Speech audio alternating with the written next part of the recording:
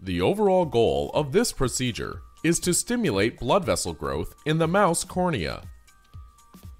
This is accomplished by first making pellets containing growth factor.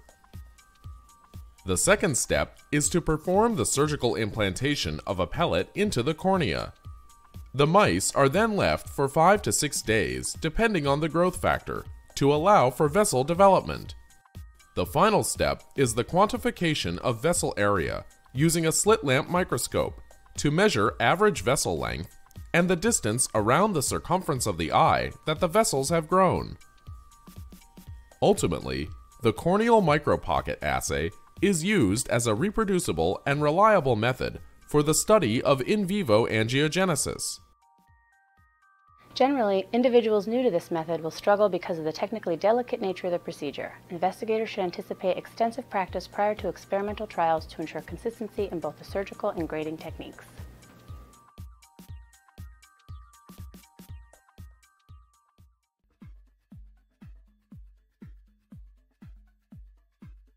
Begin the pellet preparation by weighing out 10 milligrams of sucralfate and 60 milligrams of hydron with a sterile, unbent spatula and place them in separate microcentrifuge tubes.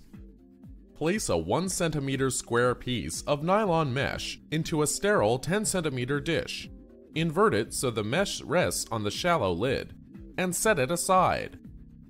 Next, add 500 microliters of ethanol to the hydron and vortex it for at least 10 minutes. Retrieve a vial of growth factor from the minus 80 freezer.